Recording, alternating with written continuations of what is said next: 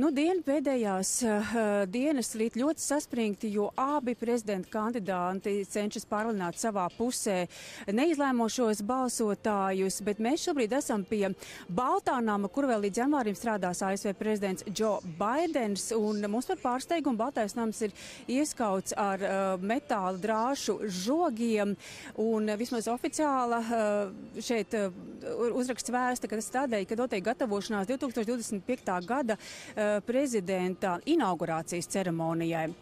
Bet mēs arī šodien satikām eh, cilvēkus šeit Vašingtonā uz vietas un vaicājām, kā viņi jūtas eh, pirms izšķirīgā datuma 5. novembra un ar kādām izjūtām sagaidīs vēlēšanas. Paskatīsimies!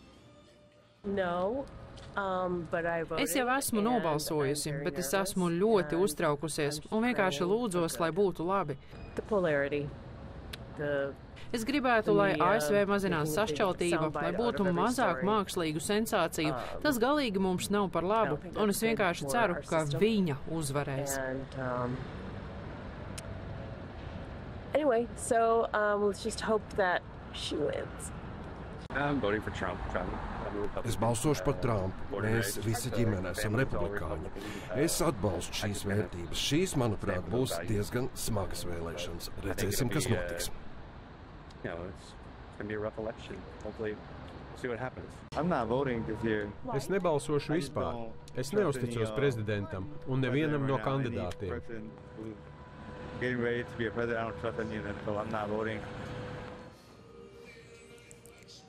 Jā, tāda lūk viedokļi uh, vēlētājiem, bet jāteic, šodien arī ir nobalsojis uh, ASV prezidents Joe Baidens, tātad iepriekš balsošanā, un to viņš ir darījis uh, Delavēs štatā Vilmingtonā, pilsētā, uh, no kuras viņš pats, kur viņš pats dzīvo un kas ir arī veidojis viņa politisko karjeru, bet jau rīt šeit Kamala Harisa Vašingtonā teiks tādu kā noslēdzošo uzrunu uh, savai kampaņai, un viņa to darīs vietā, kur pirms četriem gadiem runāja Donalds Trumps. Trumps sakūdot pūli un cilvēks, kas pēc tam ielauzās Kapitolijā.